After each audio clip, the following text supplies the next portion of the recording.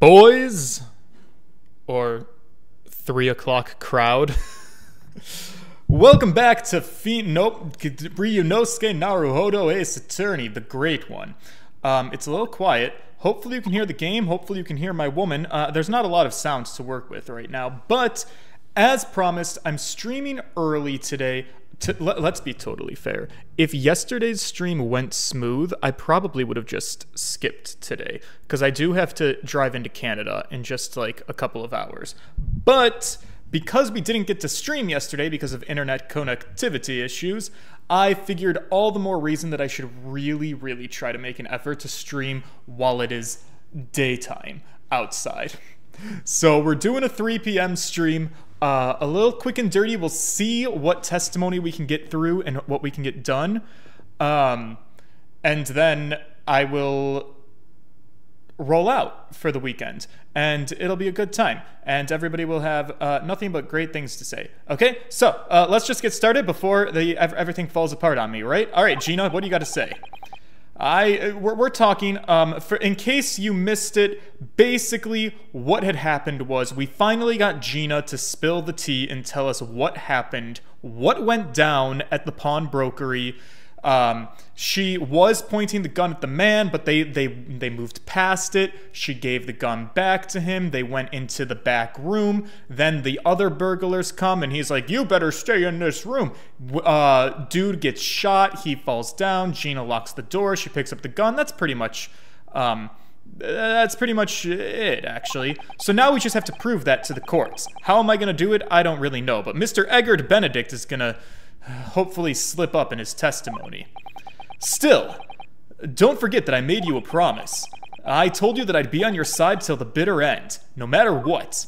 But what if I'm lying? Oh my god, girl, stop saying shit like this. Ugh, this is why I cannot fucking stand her. Can you just be like, oh my god, I love that you believe in me. All right, let's go do it, okay? Like, for fuck's sake, the learned helplessness of this girl.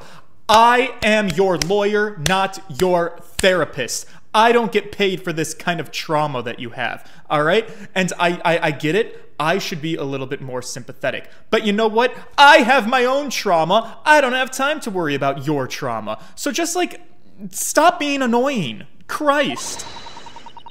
You could be working to get another killer off the hook for all you know.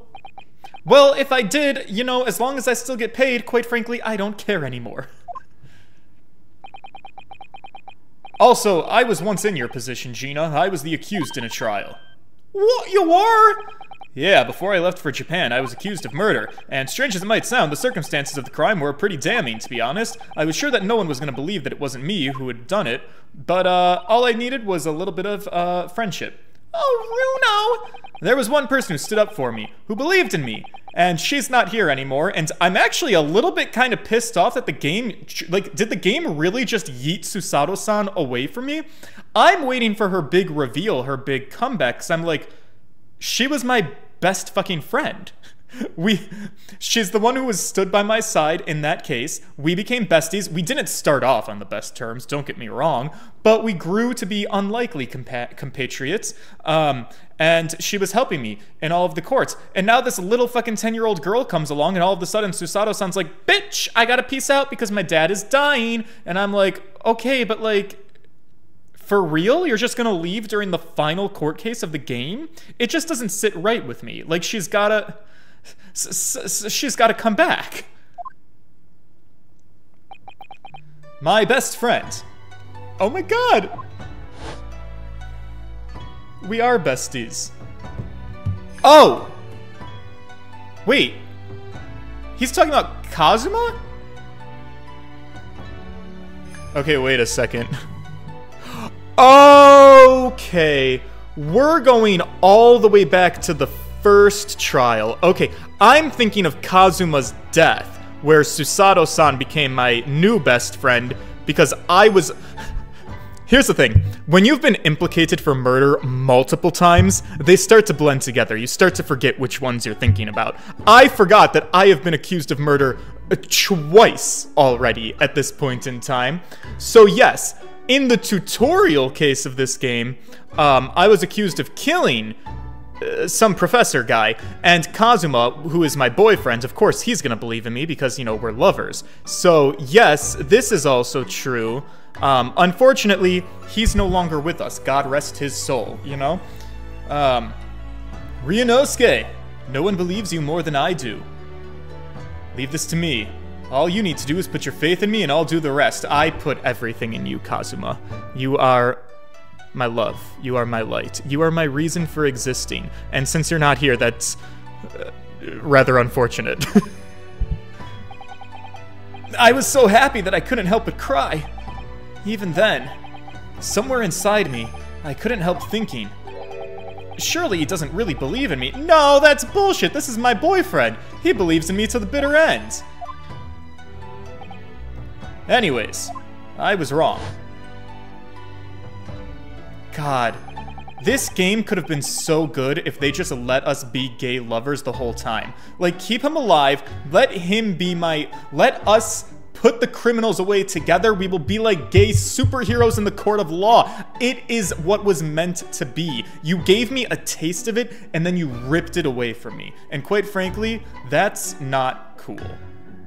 Ugh, Kazuma.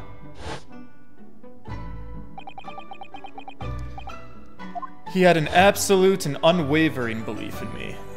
And we looked, we were honestly such a cute couple. We looked amazing together. In turn, I developed an absolute unwavering belief in him.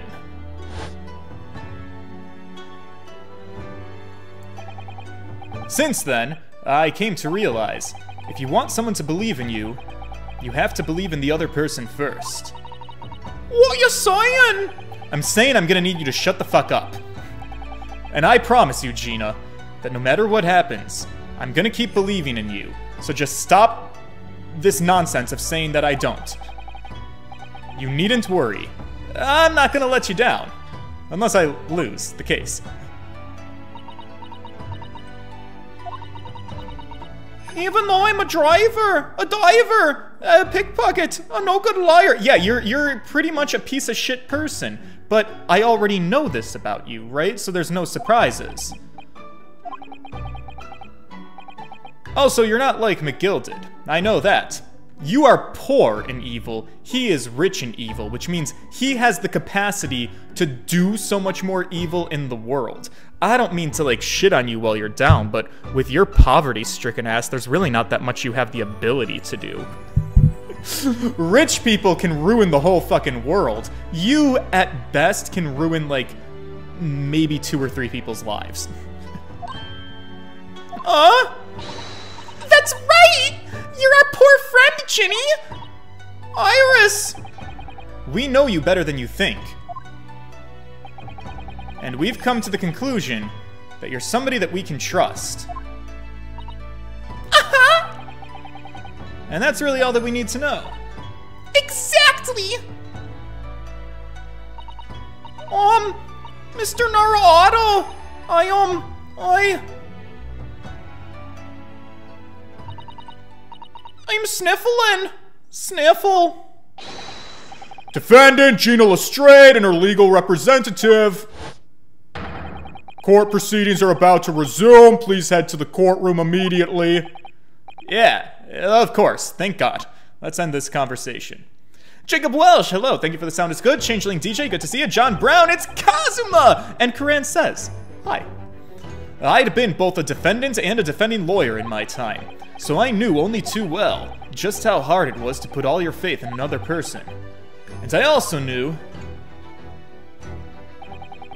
just how hard it was to bear the burden of another putting all their faith in me. Right. This is it at last. The final chapter. Well, nope, that's a lie because I do know that there are four parts to this trial and we're only starting part three, so don't give me false hope like this. Wish me luck, Susato-san. I hope you're watching over me too, partner. Yeah, I got Kazuma up in the stands. I got Susato-san, who needs to show back up at some point. Alright, let's go talk to Eggy Boy. Get this show on the road. It's April 17th, 1.41 p.m. at the Old Bailey courtroom number... Oh, we don't do that here. No numbers, just the courtroom. I hereby call this court to order as we resume the trial of Miss Gina Lestrade. Lord van Zieks, have you successfully subpoenaed the witness? The subpoena was delivered to the communication station where the man works immediately, my lord. However, the heavy rain has delayed the arrival of his carriage, it would seem. Hmm, I see. Well, let us turn our attention to Inspector Gregson's presses on the case heard by the court this morning.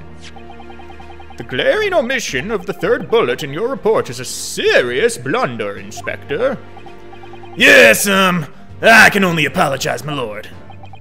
And although the defense's chemical analysis of the blood at the scene makes for a compelling argument, I cannot permit such untried methods to be used as evidence in my courtroom.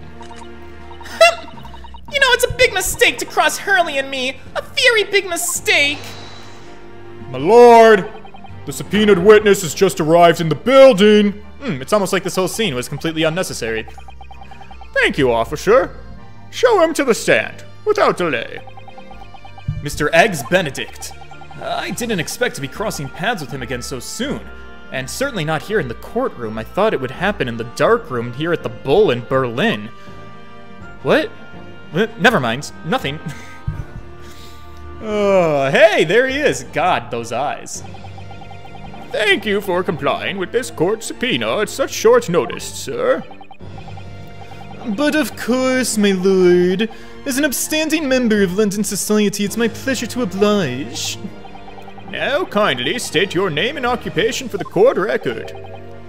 It's Ashley Graydon, Communications Officer. Mr. Graydon and I both worked in London Central Communications Station. Now perhaps somebody would kindly explain what all of this is about. You were apprised of the situation by the court officer on your way here, I presume. Yes, I was. Something to do with a murder that took place at a pawnbroker's on Baker Street. And some nonsense about me having been there on the night in question. That is the accusation indeed. This really is beyond a joke, you know. Is it? Very well. Without further delay, the court will hear your testimony now, Mr. Graydon. You will respond to the accusation made against you under oath.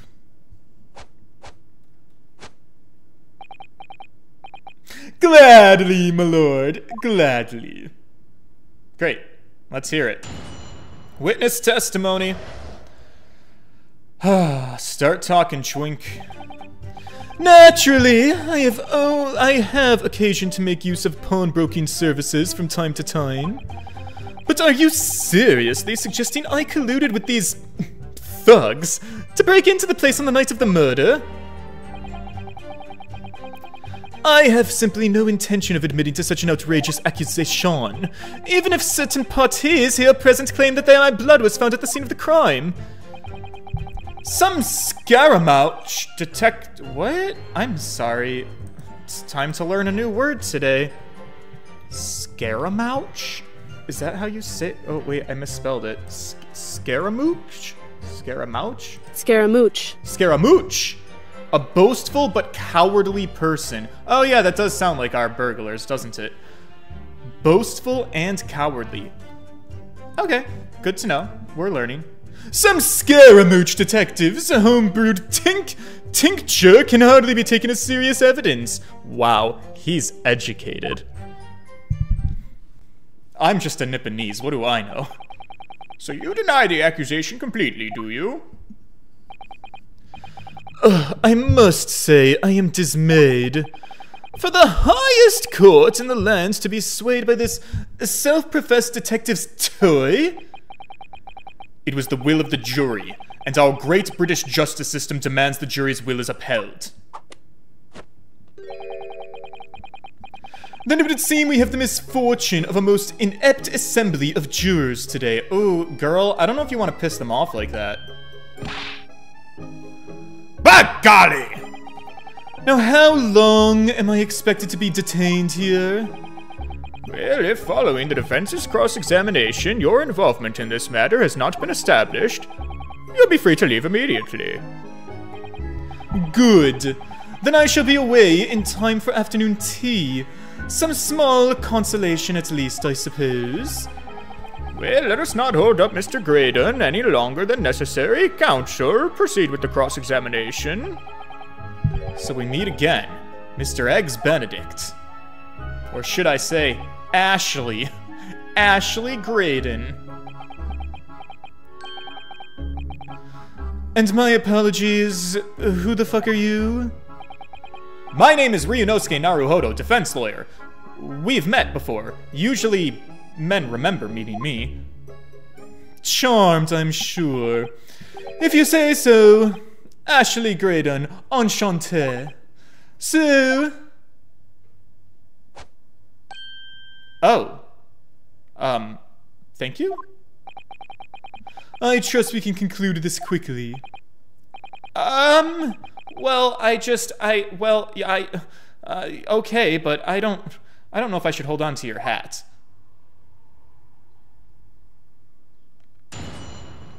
All right, well, you know what we're gonna do. We've got a chwink on the stand, so I'm gonna press him for everything. Hold, Hold that! Yeah, you know, we actually met in the very pawnbrokery where the crime took place on the afternoon of the day in question. Though, of course, you introduced yourself by a different name at the time. Kinda weird, right? it was Mr. Eggert Benedict, I believe? Objection. Tell me, is that- excuse you? What? The witness is here to testify about the events that took place that night. I was getting to that. He is under no obligation to answer such unrelated questions.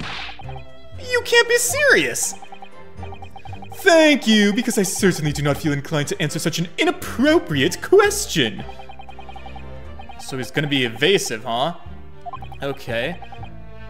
This might be tricky. Hmm. Just keep trying, boys. Um, that is what I'm suggesting, actually. Have you seen these two men before? This pair?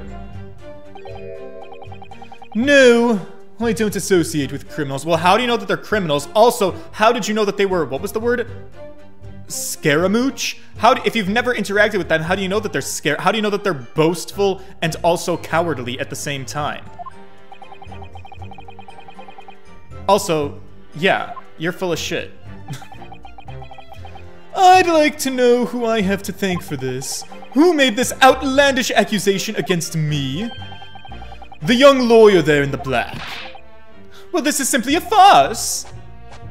Whose idea was it to permit an outsider to work in a British court anywho? Um, people a little bit less racist? Well, needless to say. No intention of admitting to the accusation. Okay, well, where were you at around 1 o'clock in the morning on the night in question? That is past the hour at which I would normally retire.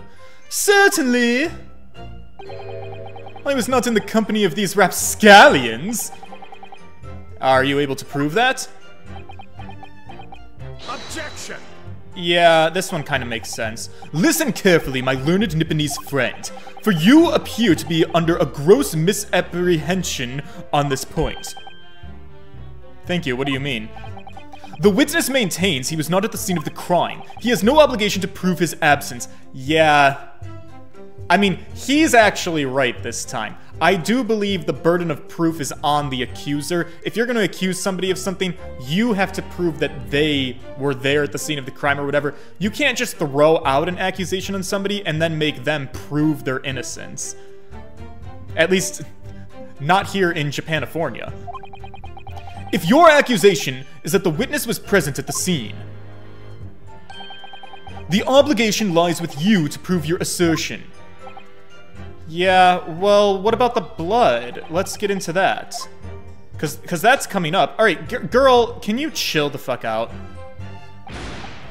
Silent victory wiggle. Yeah, keep your wiggling to a minimum. Uh, yeah, blood found at the scene. How do we bring this up? Well, uh, blood was found at the scene of the crime. There's no question about that. Mr. Sholmes's chemical analysis has positively identified the substance as such. But I'm not the only human to have blood running through my veins, aren't I? How can you be sure that the blood is mine? It could equally be the blood of one of these two miscreants. Well, you see, every individual's blood has a slightly different composition, is what I've been told. Mr. Sholmes's chemical is able to differentiate different types- SPARE ME THE SCIENCE LESSON! But that's my whole job, that's my whole shtick. Who is this Sholmes character anyway? Well, he's a bit of a detective, kinda sorta. I assumed that all Londoners knew the name. He's a well, he's a he does detective work. So even you are unable to bring yourself to say great detective. A great detective, you say? Tisk! Well, now we're entering the realm of fairy tales, are we? Oh, you don't agree? Excuse me. What's wrong? Do you have something to say about that, Mr. Skulkin? Eh, what? Me? No, the other Mr. Skulkin. Right! You know, I've added up to here with this. How many times do I gotta tell you? Uh, nope, I mean the other Mr. Skulkin. Mr. Nash Skulkin, would you please talk to me? Eh? Well, God blimey, governor! You what? Is it not the case that when Mr. Graydon just spoke, a thought went through your mind? Would you care to share that thought with the class? I mean the court. Art Rod, hello. Eh, me thoughts! I don't have none of those things. It must have been him. Me no think. You what? Look, Mr. Nash Skulkin, just answer the question, please. What went through your mind when Mr. Graydon just spoke? Nothing. Honest, Gov, nothing. I was just thinking. If he waves his arm around like that much more, it'll open the wound again, is all. I beg your goddamn pardon, what? You know, he took the bullet, of course. It was only two days ago. It can't be all healed up yet. So I was, uh, well, you know, just worrying for him and all. You wiggling, writhing thief, you have a bullet in you? Oh, hell's bears. I'm sorry, Mr. Graydon.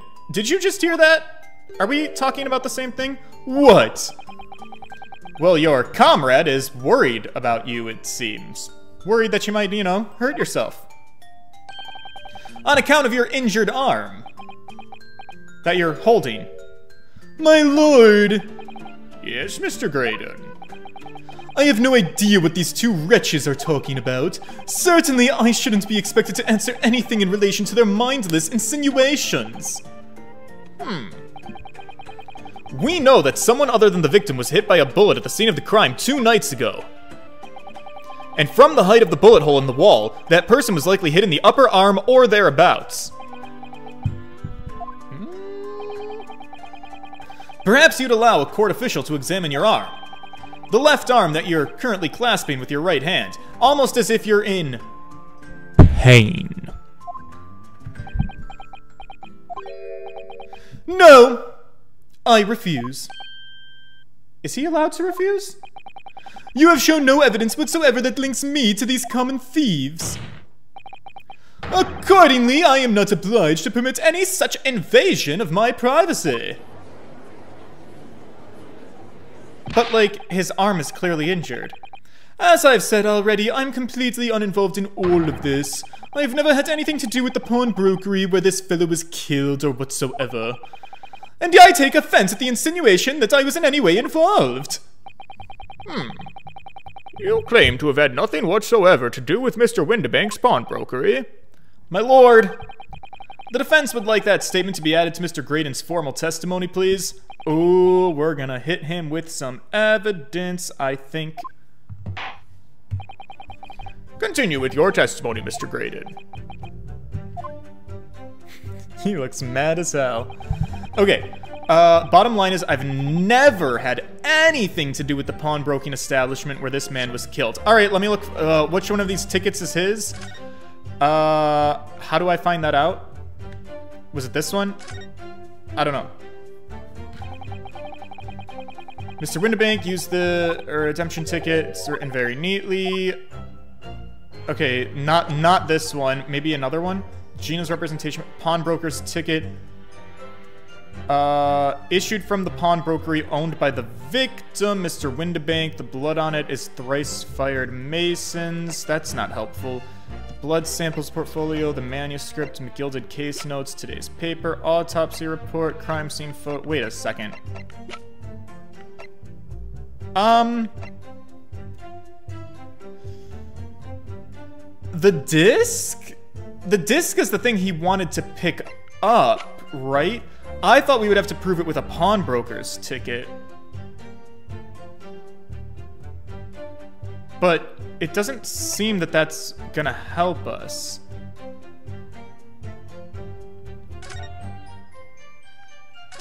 Right? I guess not. Um... Never had anything to do with the pawnbroking. I th I think the disc is what we're good because this is the item that he wanted to pick up.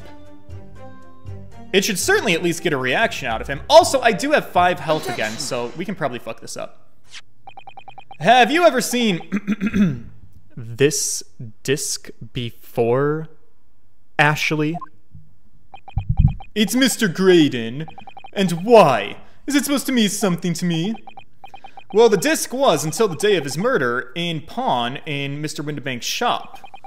It was redeemed by the defendant, Miss Gina Lestrade, that afternoon. However, someone had mysteriously appeared to try to take it from her. John Brown, goodbye. Hope to catch you uh, in the next one. And that somebody was, of course, you, wasn't it, Mr. Graydon, under the alias of Mr. Eggs Benedict? As I've reiterated numerous times now, you are mistaken. That was not me. I've never seen that disc before in my life. It may have escaped your notice, but there's a small smear of blood on the disc. Ah, yes. Resulting from an abrasion of the thumb, perhaps. Exactly. That's right. The surface of the disc is covered in hundreds of tiny metal bumps. In the skirmish to acquire the disc, the thumb of the person who tried to take it suffered minor lacerations. So, while the disc bears the remnants of that skirmish in the form of this smear of blood, the thumb of the person in question must bear the remnants also, in the form of a scratch.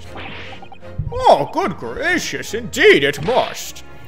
Uh, Mr. Ashley. That's Mr. Graydon. You refused to allow a court officer to examine your arm before. Are you now going to refuse to allow us to examine your thumb? Because I have no doubt that it bears a small scratch consistent with the smear of blood on this disc. Ugh. Well, I...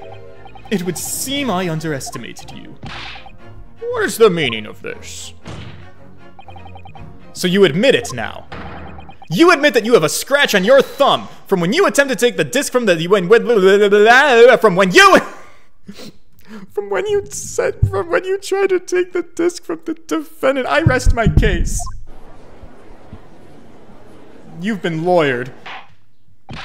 Order, order! Well, Mr. Graydon.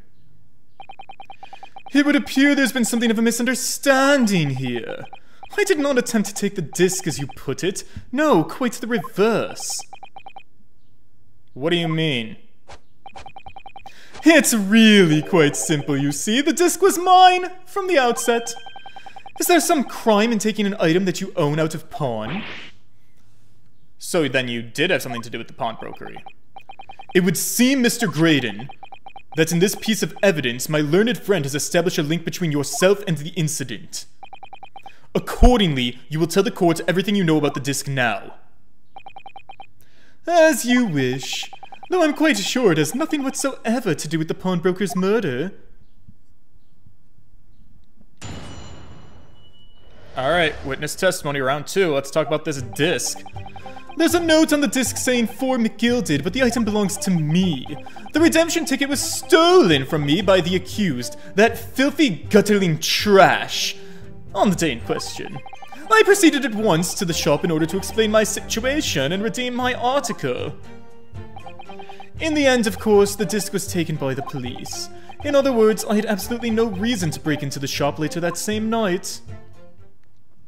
Hmm. Yeah, that's a little bit tricky, isn't it? Did I hear you correctly, sir? McGill, did you say, the famous London philanthropist? Who perished in this very courtroom two months ago after being acquitted of a distinctly messy murder. Yes, my lord, the one and the same, my sugar daddy. That's neither here nor there. Oh, good lord! Mr. Graydon! Are you saying that Mr. McGilded and yourself were... acquainted? I mean, do you... I mean, I think he was very explicit in that explanation. Yes, that's what a sugar daddy is, my lord. Damn, he was literally Mr. McGilded's bottom. I'm invested in the story now. what are? Well, I certainly didn't expect to hear that name uttered here in my courtroom again. According to what Gina told us, this disc was placed in pawn on the fateful night two months ago. McGilded himself gave instructions to deposit it at Windibanks. It's funny that Mr. Graydon here is claiming the disc belongs to him then, isn't it? In all likelihood, he's gotta be lying. So he appeared that afternoon at Windibanks in order to get his hands on McGilded's disc for some reason. Counsel, you will commence your cross-examination, please. Right. I'm ready to press it all. Here we go. Uh, talk to me about this. Would you care to explain how this belongs to you? As you will observe, a communications officer such as myself commands a fine salary. You are certainly exquisitely dressed, sir. So you see, I have little need to make use of the services provided by the pawnbrokery trade. However, I did once find myself in difficulties having misplaced my purse whilst on an errand. That's why I pawned my fine black overcoat to the broker in question. It's not because your salary sucks and your sugar daddy died? So you're claiming that the overcoat was also yours? No, obviously. And in my haste, I simply forgot to clean.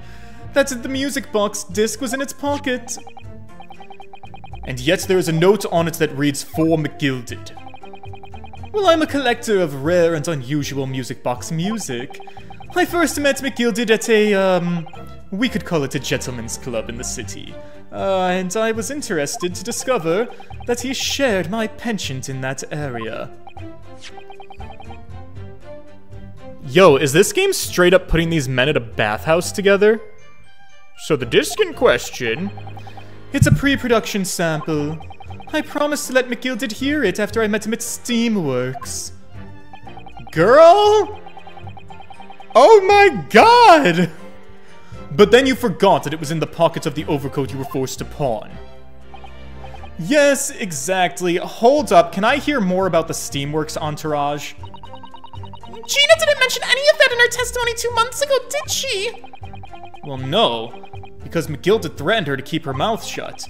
That means that if we dig too deeply here, it's going to expose Gina's perjury. Oh, shit.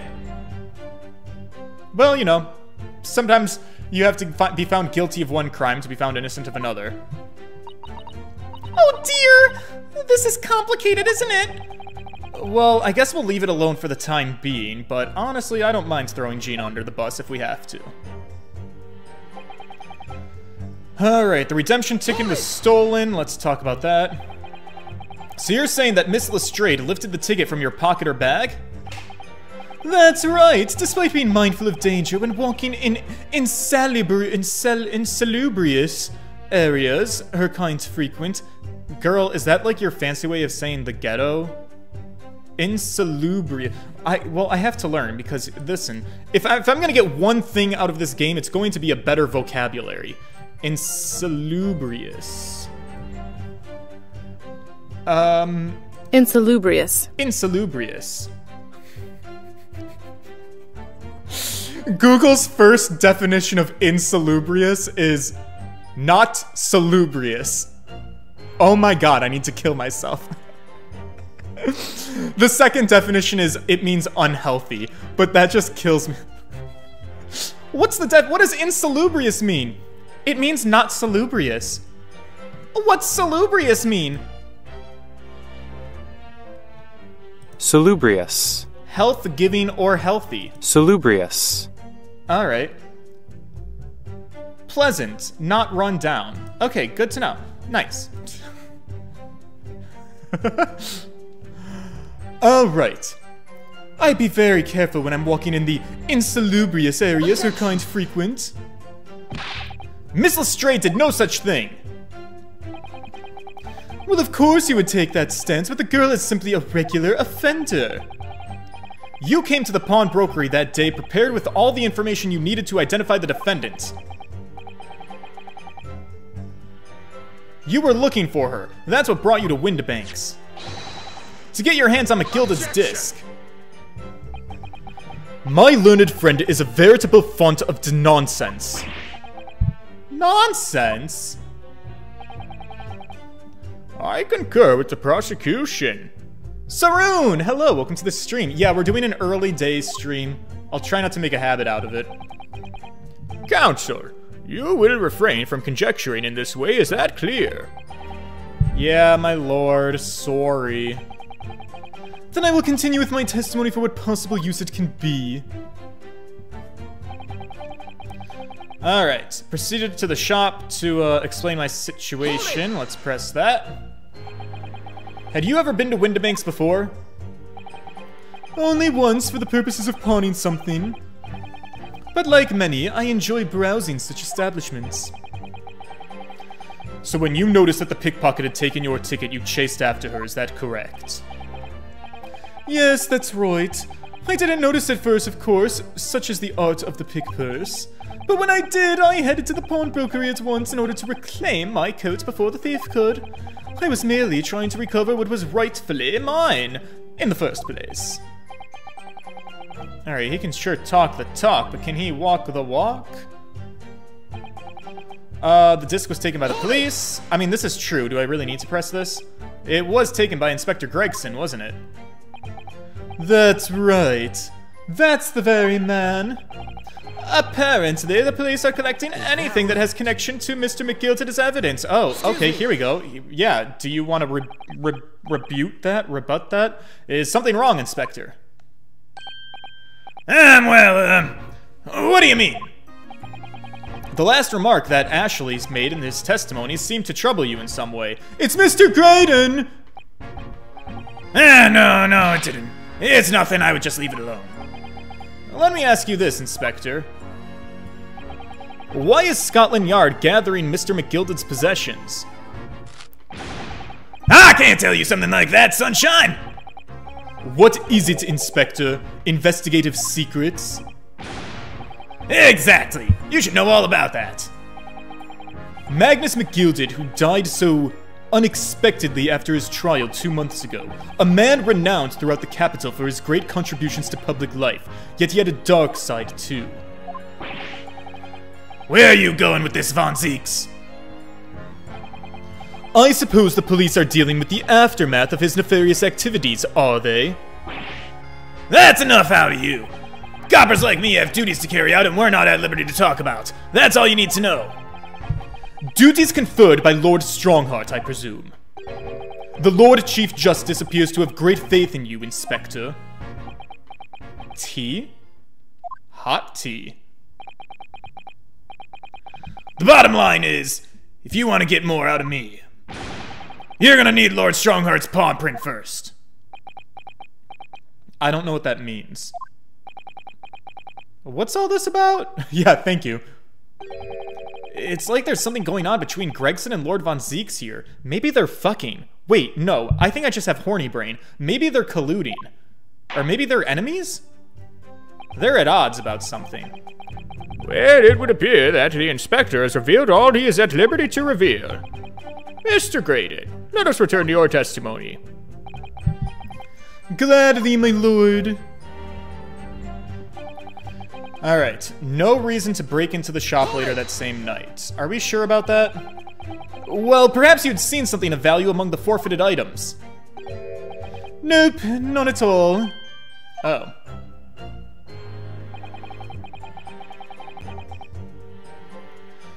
A valuer was brought in by the police to assess everything in the shop. Without exception, every article on the shelves was common or garden bric-a-brac. What does that mean? In that case, it's clear. It's clear that you broke into the shop later that day in order to recover Mr. McGilded's disc. Have you not been listening, man? Even if I'd wanted to recover the disc, why don't you recall that it had been seized by the police that afternoon? It was no more in the shop that night than I, as I keep saying. I simply had no reason to break in. So there was nothing of McGilded's left in the shop that night. Oh, wait a damn minute. Oh, wait a second. These are notes about the McGilded case. The manuscript? That's not really anything of McGilded's. Um, something else of McGilded's? Windibank's guns, Skulkin Brothers guns, photos, the stereoscope, the music box, disc, the third bullet. Well, hang on to that. I wonder if that's really true. Oh, Runo, if you have some evidence, let him have it. I'm dying to see that irritatingly assured expression of his crumble. McGilded slipped the disc into his coat pocket and had it deposited at Windibank's. Then, when he realized he was going to be arrested on suspicion of the omnibus murder, he threatened Gina and forced her to take the redemption ticket. There's no doubt about it. That witness is lying through his pearly white teeth. The police were obviously after anything left behind by McGilded as well. And that's why Inspector Gregson ended up taking the disc into custody that day. But Gregson's being very strange about all of this. Yeah, and there's gotta be a reason for that too, but we can work out that later. For now, I need to focus on exposing the fact that Mr. Graydon is lying in his testimony. Okay. So... Maybe that's what this one is? A redemption ticket owned by the victim. Blood on it has been identified as Mr. Mason's.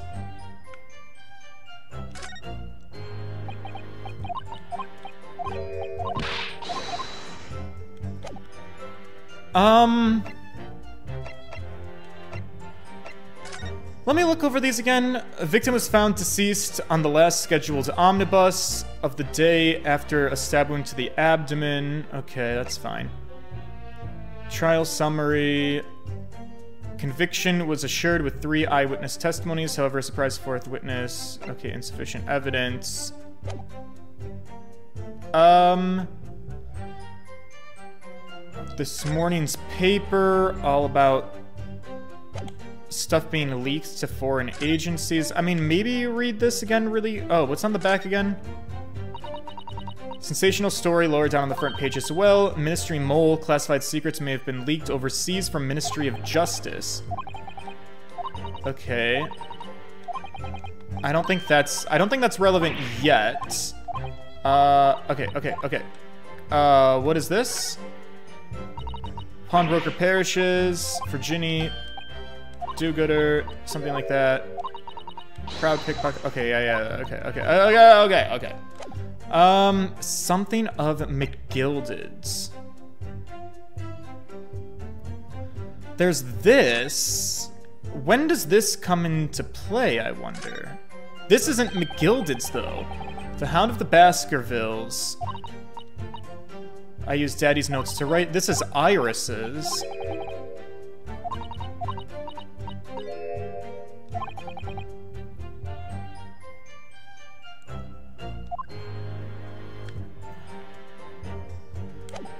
Um... Uh...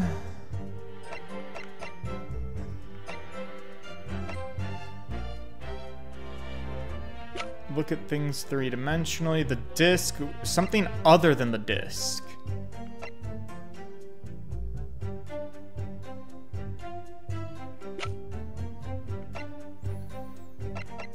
I'm inclined to believe.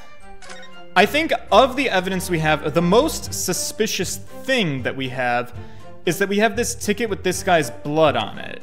That's like something that you would want to steal, right? Objection. Nope.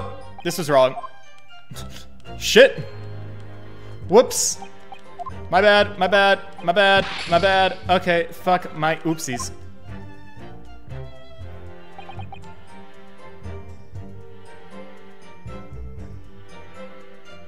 Oh wait, did I present on the wrong statement? I might have done. Hold up. I had no reason to break into the... Okay, hang on. Let me do a save really quick. Did I just present that on the wrong statement, or was that the wrong evidence? Shit, I wasn't paying attention. This might be a really bold fuck up. Um... I'm gonna present the same thing again. Objection.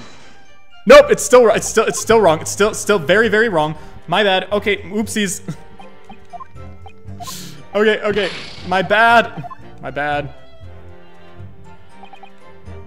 No reason to break into the shop later that same night.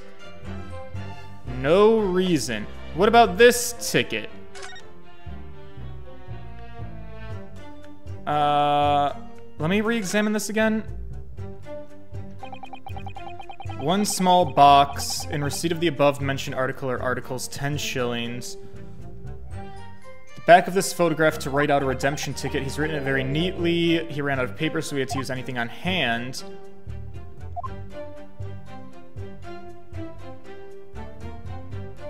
Maybe it's this one?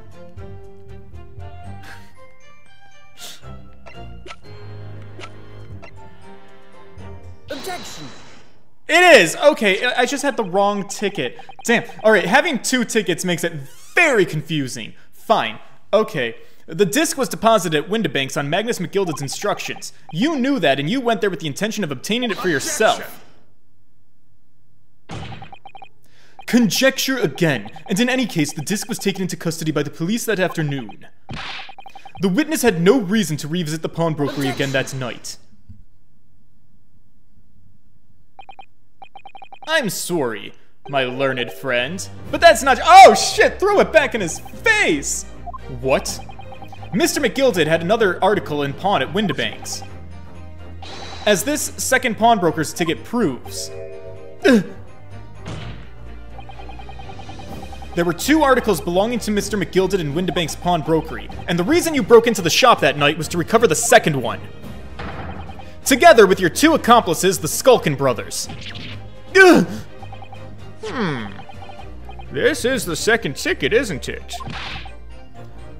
What had the man deposited? The article description reads, one small box. That's a rather vague description, it seems to me. Are you suggesting that I broke into the pawnbrokery with these clowns in order to steal some trinket box? I believe there are adequate grounds to suspect that you did. This is absurd! Why on earth would I do such a thing? Once the article had been forfeited, I could simply walk into the shop and purchase it. There would be absolutely no need for me to resort to theft. That's a very fair point. Let me think on that for a minute. Hmm, indeed, the witness makes a solid argument. So that means that for some reason, this Graydon fellow needed the small box that very night, does it? Objection! Oh. It's time to put an end to this nonsense, my lord. Uh, could you be a little less cryptic, Lord van Zieks? I do hate to ruin my learned friend's arguments, but the truth is quite incontrovertible. On the night in question, no small box was taken from Windibank's pawnbrokery. And rest assured, the prosecution can prove it.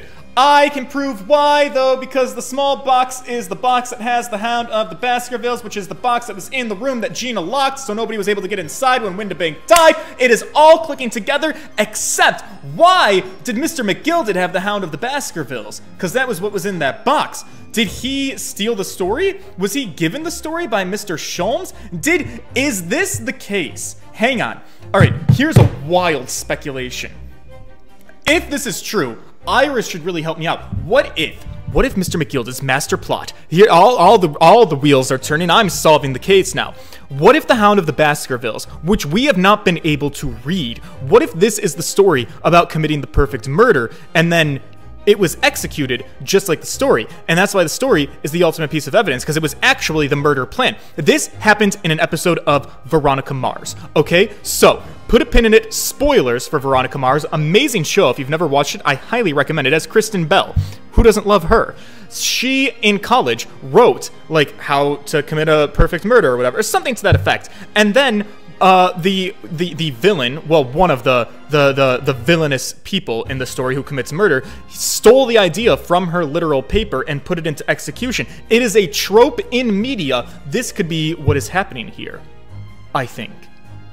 But it still doesn't make total sense. Why does he have possession of this? Well, is it because he just lost it from, or because he bought it from? I mean, what's his name? Mr. Sholmes doesn't keep that goddamn keep a lot of track of where his stuff goes. Mm, uh, there, there's some loose threads, but I think I think I'm figuring it out.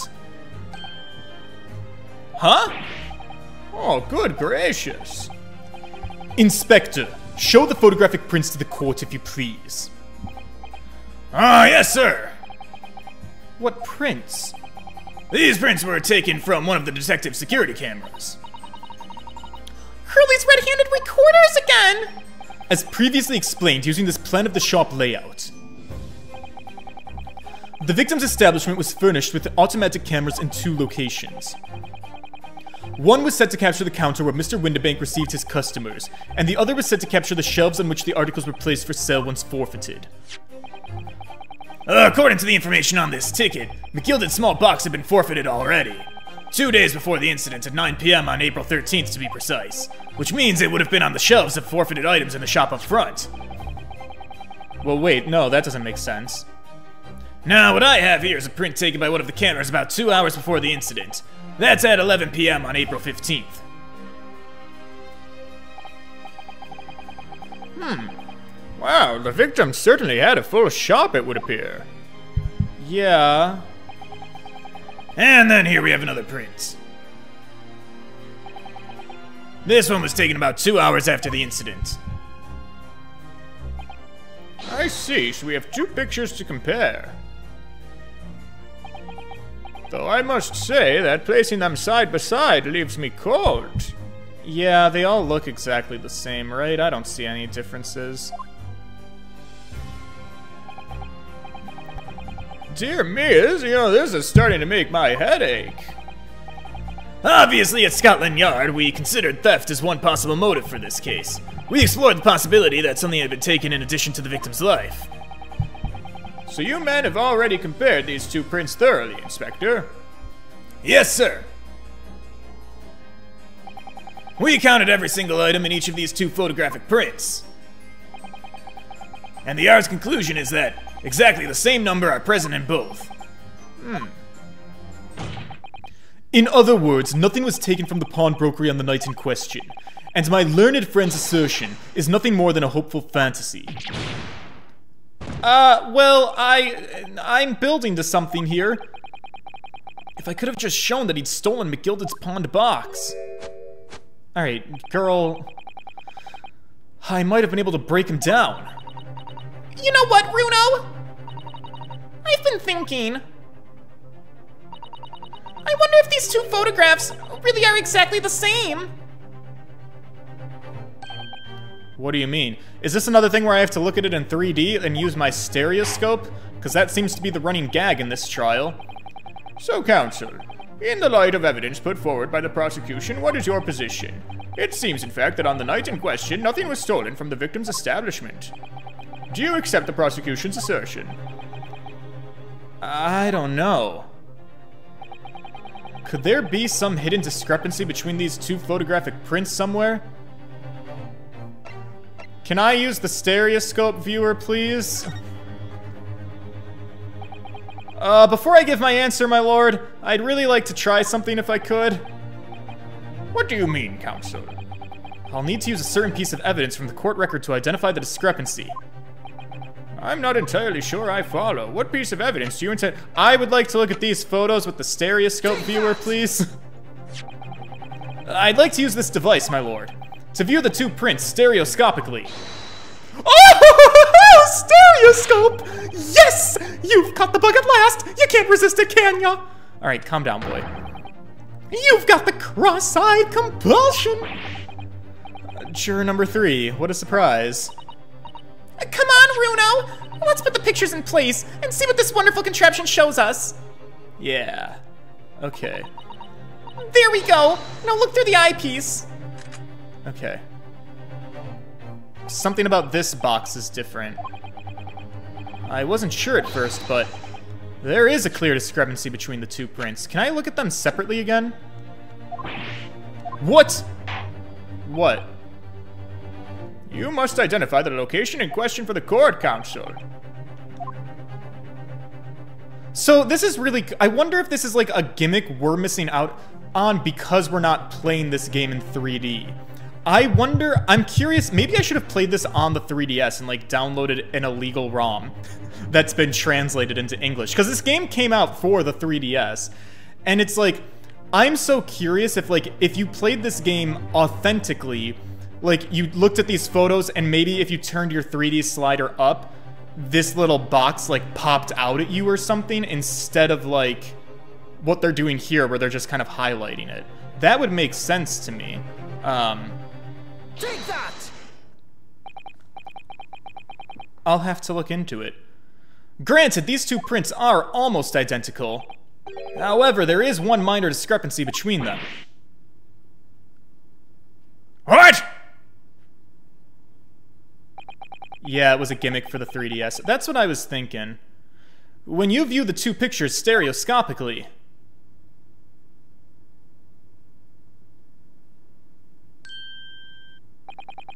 a single area stands out as being different. The location of this small box.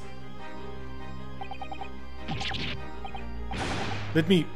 he looks so stupid looking through it. No, it's fine. It's fine. Unbelievable. Oh, by Jove, you're right. How extraordinary. What this tells us is very simple. Mr. McGilded's small box was indeed not stolen from Windibanks on the night in question. However, there can be no doubt that somebody picked up this particular box and then returned it to its place on the shelves. Also, yeah, I guess you can do the cross-eyed thing. I'm not very good at looking at images stereoscopically on my own by crossing my eyes. It just, everything, like, gets, my vision gets very fucking blurry and everything I can't do it that way successfully. I need the 3DS to do it for me. Um, okay, so somebody did pick up this box and then they put it back. So then my theory was actually wrong. My whole brain blast I had about the Hound of the Baskervilles coming into play was just me being a fucking idiot. Alright, that is still very much Herlock Sholmes' item. It wasn't McGilded's item. McGilded had this box. So then, the million dollar question now becomes... What was in the box? Damn it, I have to throw away my whole theory! That's so stupid. Are you suggesting that the small box originally deposited by Mr. McGilded is in fact... Yes! The very same small box that I just identified in those photographic prints. Mindless guesswork. What if it was? Huh? So a box was moved on the shelf. Nothing was stolen. That means quite simply that nothing has changed. What was in the box, my guy? Are you kidding me? That could be true, but it also could be completely false. If McGilded's box wasn't stolen, doesn't the fact that it was moved change anything? It changes everything! Something could have been taken out of the box! I believe this changes everything about the case. How can that possibly be? The crucial point is the fact that what was moved was a small box. In other words, we have to consider what might have been inside of the box. Do you... Dora the Explorer logic. Do you understand how boxes work? What are you suggesting? Oh my god, I'm suggesting that there was something inside of the box! For fuck's sake, is everybody here delusional?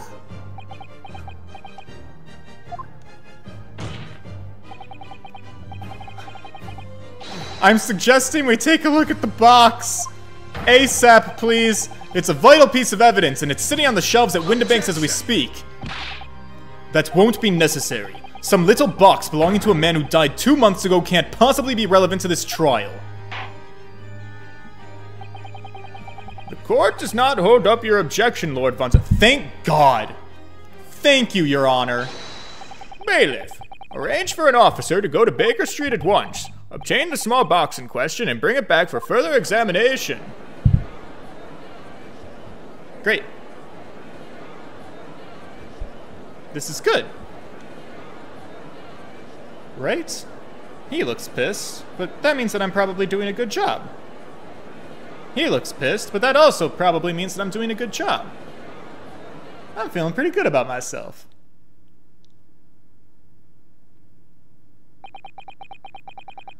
We should have a report within half an hour.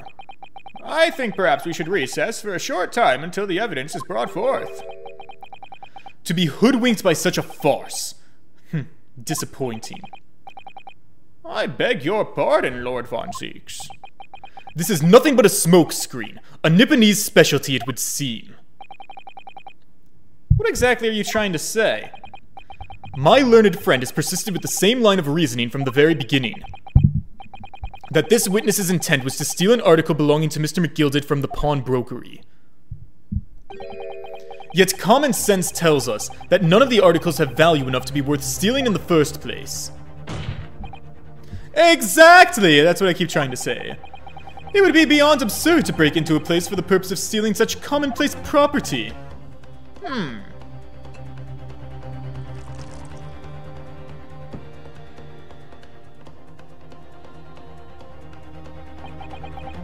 If your lordship recalls, Mr. McGilded perished two months ago immediately after the conclusion of his trial. A trial in which he was found not guilty. A trial in which it was established he was the upstanding member of society his reputation implied, in fact. So I propose a toast to my learned friend and his most insightful defense. Thank you? The articles in this upstanding member of society pawns were entirely ordinary. A black overcoat that just happened to have a music box disc in one of its pockets, and a small box. Yeah, but you seem pretty hell-bent on getting the music box piece disc. I assure you I wouldn't accept even if the man tried to make a gift of such things to me. But you were so hell-bent on getting it. What? No, fuck you. You know, that does make a rather lot of sense. It's not as if it was gold or jewels, was it? Though goodness knows Mr. McGilded was rich enough. You can't be depositing cash at a pawnbroker, eh? The prosecution's argument is undeniably compelling. Johnny Petriello, doing good now that you're here. How's it going? It is incumbent on the defense now to bolster its argument. Okay. To explain what possible significance these commonplace articles pawned by this fine citizen could have. Well, counsel, is your argument in fact demonstrable? Are you able to show proof that the disc or the box are in any tangible way related to this case? Well, I thought I could. Oh, what's the matter, Runo? We know that they're related, don't we? They're both vital pieces of evidence.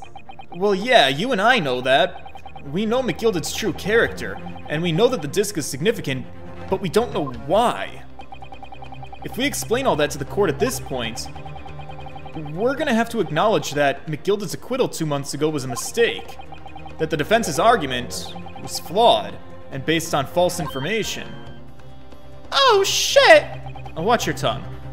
So that would mean admitting that Gina had committed perjury. But Ginny! I wonder if van Zieks knows. Is that why he's doing this now? Because he anticipated this? But maybe... Maybe this could be a great opportunity for us. I beg your pardon? Well, what is it that you always say, Runo? Sooner or later, the truth comes out every time.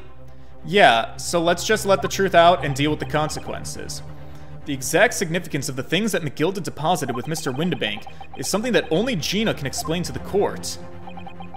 But if I put her on the stand to testify about that, it could critically damage our chances of winning this case. Whoo, Nelly. What do I do here? Eh, have Gina testify. Throw her under the bus. Why not? Ah, my lord! The defense would like to make a proposal. Oh, what proposal, counsel?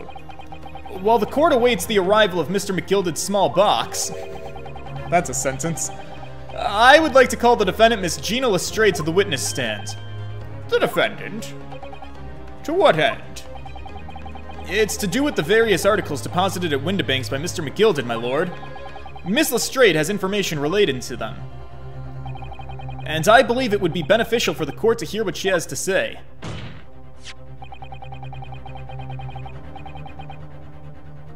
It'll prove the significance of the articles in question once and for all. Well, well, things are certainly becoming interesting. I presume you've considered the implications of the testimony you're proposing, in particular the impact it will have on the accused's standing, and indeed your own.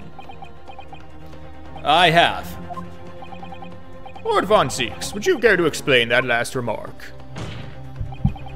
The prosecution accepts the defense's proposal. I move to interrupt the cross-examination of the current witness and hear from the accused herself.